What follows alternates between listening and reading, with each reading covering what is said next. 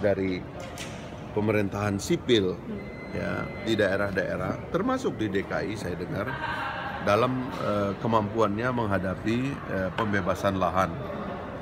Ya saya mendengar itu aparat pemerintah satpol pp dan sebagainya itu seperti tidak sanggup. Gitu loh. Tapi begini jangan ketidaksanggupan itu artinya cara halus tidak bisa ditempuh cara negosiasi dan komunikasi yang beradab tidak bisa ditempuh ya.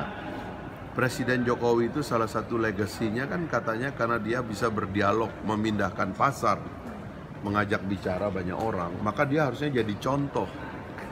Karena itu penggunaan aparatur kepolisian ter, apalagi militer itu itu sangat harus dihindari dan bahkan tidak boleh dilakukan. Berhenti kita lakukan ini adalah pemerintahan sipil berdialoglah secara baik. Contohlah Presiden Jokowi bahwa dialog bisa memindahkan pasar. Kenapa?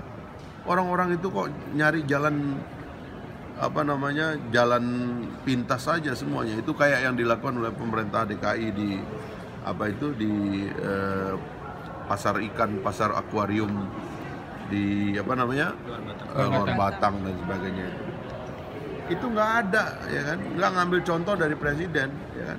Bahkan harusnya darurat ini presiden Jokowi itu membuat peraturan tentang tata cara penggusuran atau tata cara pembebasan lahan.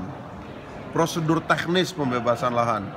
Orang tuh diajak makan dulu. Taruh anggarannya di APBN ajak makan tiga kali empat kali ngobrol. Ini negara HAM ya kan? Sedikit-sedikit militer sedikit-sedikit senjata ya kan? Ini otaknya nggak beres nih ya.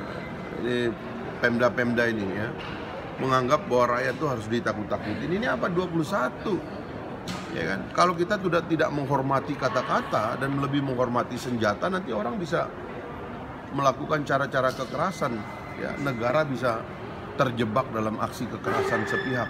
Nah ini yang harus diperbaiki cara berpikirnya